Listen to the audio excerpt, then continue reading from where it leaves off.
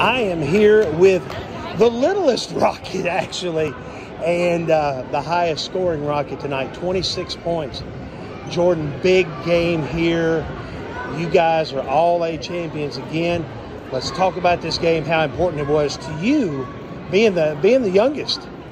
Well, um, Lyon is always a really good competitor. They always have good teams coming into the tournaments, and hard. So we knew what we had to do, and I think the whole team just stepped up, played really good at the end, and then we just got the win. Down the stretch, they made it a close game. You guys had pulled ahead by eight. They come back, and uh, it ends a close one. I thoughts on going to the state. I mean, like I said, this was a big game for you guys. Yeah, they. We've been practicing. Mom's been saying this is the road to Corbin, and guess we just go over the last hurdle tonight. There you go. Well, congratulations. Very proud of you, and uh, looking to uh, looking forward to seeing more.